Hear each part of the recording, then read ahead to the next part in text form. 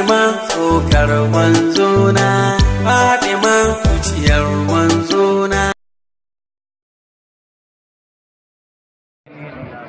سيدنا محمد وعلى آله وأصحابه حق قدره ومقداره العظيم سبحان ربك رب العزة عما يصفون وسلام على المرسلين والحمد لله رب العالمين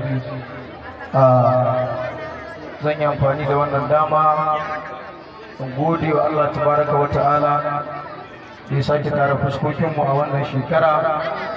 Ba don komai ba sai don yin wa ƙasa addu'o'i na samun zaman lafiya da kuma tunawa da sabuwar shekara ta musulunci. To Allah ya maimaita mana albarka annabi Muhammadu sallallahu alaihi wasallam.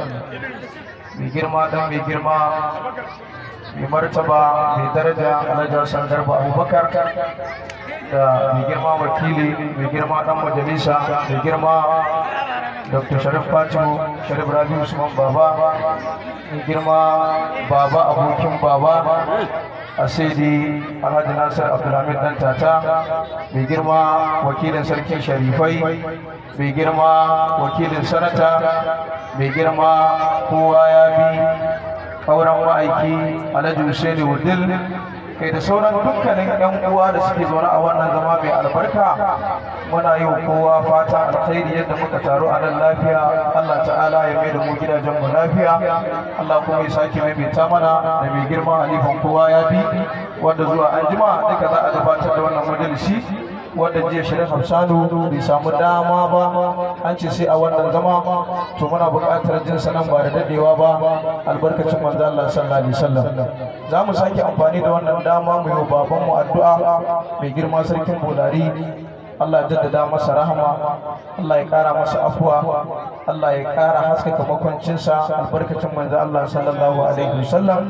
Domin kowa ya sani masoyin mu ne babu irin gudunmawa wanda mai girma sarkin bolare bai mana sha'irai ba a wannan jiha baki ɗaya. Allah ya saka masa da alkhairi.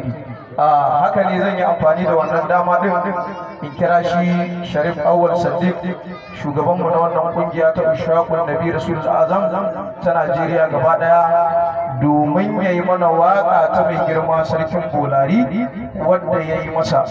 Idan ya gabatar da ita sai kuma mu ci gaba da program din da ya tara mu.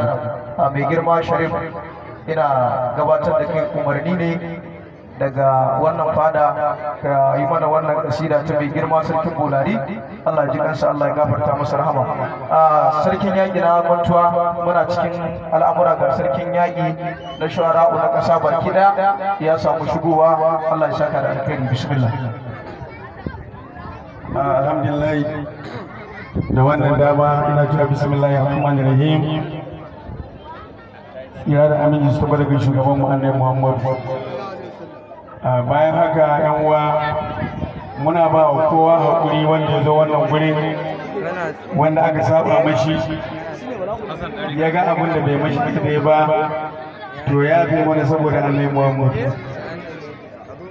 Na ce a yafe mana saboda annabi Muhammad. Kuma dan jaraba ta da Allah dan jaraba